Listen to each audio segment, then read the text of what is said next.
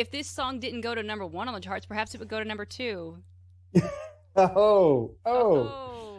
that was right about the time everybody lost their mind for the first time and started buying all of the toilet paper in the known universe. You don't realize you have a favorite brand of toilet paper until you are reduced to buying the John Wayne toilet paper, rough, tough, don't take shit off nobody. It was a love note to Charmin toilet paper, which is the strangest sentence to come out of my mouth.